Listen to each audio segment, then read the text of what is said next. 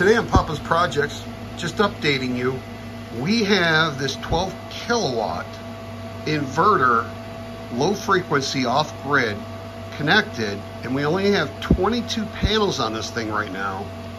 And with those 22 used 250 watt poly panels, I'm able to start my three and a half ton or my four ton main house air conditioner heat pump.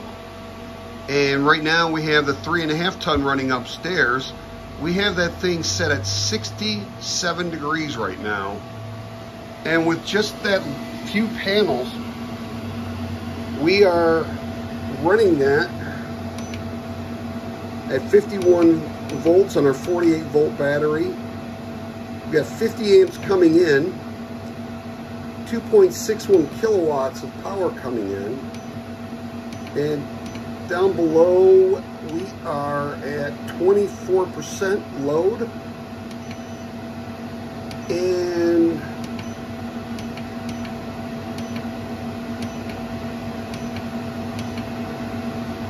so we only have our panels coming in are right around 90, around 100 volts coming in off those 22. So we're keeping this charged while we're running that. And when I run that four ton, that uses about 60 amps. And I believe we said this one was using around 50 amps, 40, 50 amps. Just depending on how hot it is outside. So let's go outside. Outside, we have this three and a half ton main house. So you can see it's connected in there, to the house, and it runs up to the attic, to the A-coil. Um, we have two air conditioners at the three and a half ton, and that is a four ton. So right now, this three and a half ton is running off of solar. The way we did that was we had dedicated lines running over here that could run 220, 230, 240. And so we ran a line over here and we put in an AC disconnect box. So on this AC disconnect, we have a fuse in the solar one for upstairs. We labeled it. And we ran that line up to the grid. You can see we don't have the fuse in there. So we only have one fuse to use between solar and the grid. So it's either in the solar or it's in the grid, but it can't be in both. What we did for this upstairs four ton was the same thing, but we used different um, AC disconnect boxes so that you can't use the same type of fuse handle. Let's see.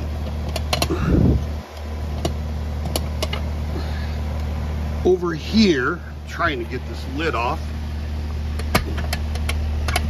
There we go. So over here, we have a fuse like that, but up here, we have a totally different fuse that will not fit in there. So you can't try to put the fuse from the upstairs with the downstairs and short out between the solar and the grid. It's one or the other. So on this one, we have, this is the grid power. And then we also have the same exact box for our downstairs solar. Upstairs grid. So that fuse is either in the grid or it's in the solar, but I only have one fuse out here, so can't be in both at the same time. Once again, the same thing with the upstairs. The fuse handle is either in the solar or it's in the grid. So all we have to do is, this one's running this one right now. So if we take this fuse put it in our fuse handle over here, shut it down, and we have the ability to lock all these up so nobody can get in there and mess with them. So we can close that one, the lid on this one, and this wasn't really that hard to wire up this way. So the power is always on on the grid on this one and on this one. But the way that we ran the wiring in there, unless there's a fuse in there, it's not um, a completed circuit. It's an open circuit. So it's the same thing with the solar. If it's not in there, it's an open circuit. But what we also did with the solar was we put a second AC disconnect in the garage so that we have a double uh, disconnect on this when I'm working on it for the solar. So I can always go over and hit the breaker in the main panel to turn the grid off, but I wanted to put in a double uh, safety feature for me there. But um, this thing, I can fire up this main air conditioner, three and a half ton, at around 7.15, 7.30 in the morning and run this till about 5.30, 6 o'clock at night. And the way we run it, nobody's home except for me during the day. And we don't go upstairs that often until we go to bed. We're downstairs all the time. We have this thing set at 67 degrees, so it gets the rooms chilled down to about, you know, 62 to 64 degrees. So when we turn it off at 5.30, right now it's in the mid 90s during the day and the middle 60s at night.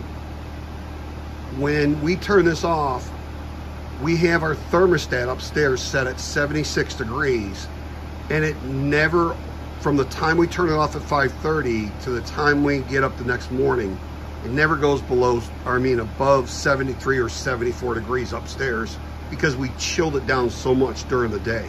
So we never run our grid. We switch it over to the grid for the power for this at night, but it never kicks on because it just stays so cool for the 10 hours, 10, 10 and a half hours during the day running that upstairs that it does not have to turn on at all. Now, the other thing that we did was we have to keep our attic nice and cool we have two solar attic fans up there and the way that I have those connected they're also um, hybrid so you can plug these things in to the uh, grid in the garage. I run them on uh, um, solar during the day, and then when there's no sun on them, I'll switch it over and plug it in. And they only use 50 watts of power each. So, but they will keep my attic uh, without either, without those things going up there, my attic on a 95 degree day would be about 135 to 150 degrees. The way I have it set up right now, and I also have something else going on up there, my attic stays below 90 degrees during the day when it used to be 135 to 150 degrees. Now right now, actually, I have just these 16 solar panels running that three and a half ton air conditioner. And these are those uh, used poly panels that uh, have snail trails in them. There's a blemish in those, but um, now later on, after, oh, 10, 10 30 in the morning, these will have full sun on these six panels over here, which will also be connected to that. And we have six panels over there that are running the other inverters. Those are on the 5,000 watt MPP. But it's pretty amazing that we can run that three and a half ton air conditioner pretty much just off of those 16 250 watt poly panels that were used. Getting a pretty good output on that. We uh, also have our pool heated up to 86 to 89 degrees. So the other day we connected one day we might be able to get this up, but we're gonna have to go get some six gauge stranded wire to run over to this thing because it's just, it's got two 50 amp breakers in that breaker box. These are 30 amps, two 30 amps for that one and two 30 amps for that. So I'm gonna need a, a heavier gauge wire to start that 12 and a half ton up. But we use that 12 and a half ton to get our temperature in the pool from 70 degrees up to 89 degrees. And then during the day, we use this, we start this up around 8, 8.30 in the morning and run this thing. Sometimes I only run it till noon and I lose four, four or five degrees overnight on the top foot of the water of the pool and then by circulating it and having that pool cover on there, I can recoup that within about four or five hours using just that little heat pump. And see, that's only half in the uh, sun right now, half of it's in the shade. But just filtering that, that half that gets that, I'm pulling that hot water in and recirculating it in the pool but by noon, it'll be like 88, 89 degrees, and that's where we like it. That's the perfect temperature for us. We're older. we like it hotter in the pool. Colder in the house, hotter in the pool. So that little heat pump works great. Now, by the end of May, I won't even be using that thing anymore. But when I ran that 220 volt pool heater that cost me $7 on just one day to drop to the increase the temperature in the pool by 20 degrees. And then I never had to use that after that. And for the last uh, two, three weeks, I've been running just this little one a half to three quarters of the day, and that's on solar. So this runs off of solar now during the day. This runs off of solar, three and a half ton. That four ton runs off of solar. That one ton runs off of solar. If I want to use it, I don't need to.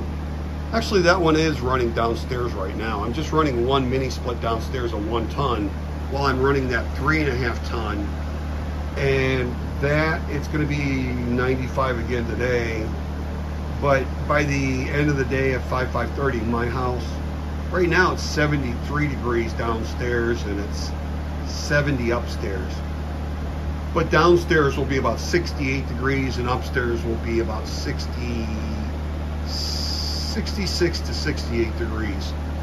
So it'll cool the house down completely. When we turn those things off, there's no air movement and it keeps the house chilled overnight. It's like a cooler box. so this jacuzzi pool pump is running right now off of solar. Almost everything during the day is running off of solar now. We even have these ceiling fans that will turn on and run those uh, during the day to keep the flies and the heat um, out of here. So anyways, I just wanted to give you an update. We got both of those main air conditioners able to run, to start up and run. Now this one, I think, I think I had to hook up another 12 panels to get this to be able to fire up. But like I said, I think if I add another four batteries to my battery bank, and I'm just using AGMs, 100 amp hours. So if I put eight batteries on there, two sets of 48, I should be able to fire up both of these air conditioners at the same time. I should have enough power to do that with a current draw. So right now it starts up either one fine, no problem whatsoever. Um, but it won't start up the way I have it in there right now. It's not going to start both at the same time. Just too much of a draw on that four ton. Um, that thing draws, eh, like I said, 10, 15, maybe 20 more amps than that three and a half ton. But our downstairs is much bigger and actually in hindsight now, being able to run our air conditioner all day long off of solar for upstairs, we really don't even run this anymore. It's uh, just doesn't need to run the um, mini split downstairs. Just one of those is enough to, so right now we're 73 degrees downstairs. And it is about 85, it's hard to see, but it's about 85 degrees outside right now. So,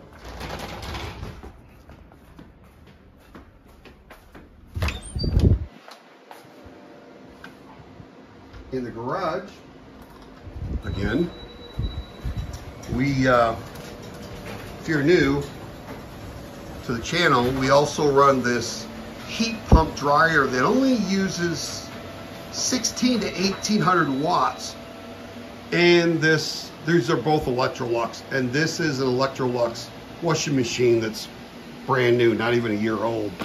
We run both of those in the garage. And on this heat pump dryer, there is no vent to this at all. We, uh, this is a ventless.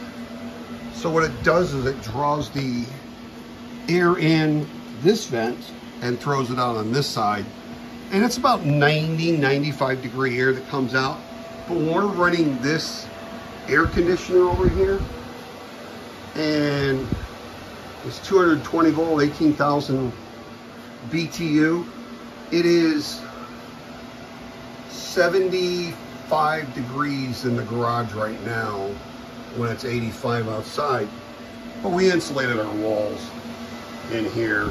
We insulated our, our doors on the garage with uh, two layers of one and a half foam insulation and it's two inch insulation on the walls over here. But on this wall over here, we have cabinets. We didn't insulate anything on, but that really doesn't get any sun. This is the interior of the house on that side, so we didn't need to insulate. Just needed to insulate that long stretch of wall and the garage door.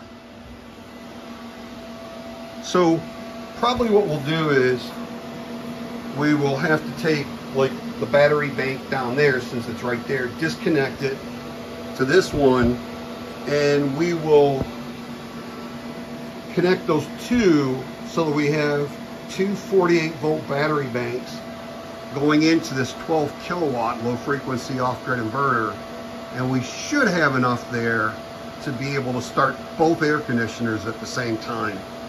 So we will work on doing that over the next couple of days.